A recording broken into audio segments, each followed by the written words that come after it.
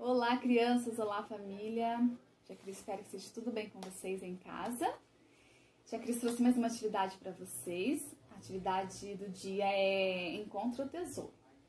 E nessa atividade tem a proposta de trabalhar a coordenação motora, percepção visual e tátil e a concentração.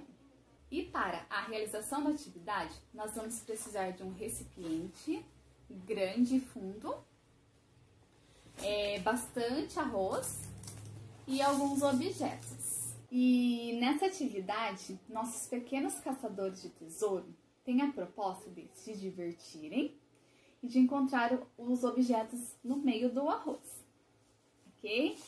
Mamãe e papai ficam bastante atentos na realização das atividades, tomem muito cuidado para os bebês não colocarem o arroz na boca e até mesmo os objetos que estão aqui, que vai estar na, na atividade, tá? É, a tia Cris deseja um bom dia para vocês e até a próxima aula.